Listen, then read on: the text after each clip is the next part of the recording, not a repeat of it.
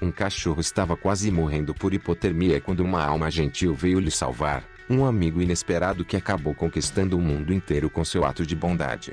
Uma câmera de segurança recentemente instalada registrou o momento em que um dos incontáveis cachorros de rua da Turquia foi salvo por Bolente Kalpaksoglu, um servidor público humilde que deu ao cachorro um pouco de comida, atenção e até mesmo a jaqueta que ele estava usando.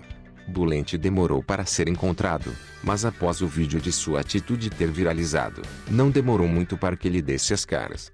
Ele disse em uma entrevista que o ato de bondade era o mínimo que ele podia fazer por outro ser vivo. Se eu não tivesse dado a jaqueta, aquilo teria comido minha consciência.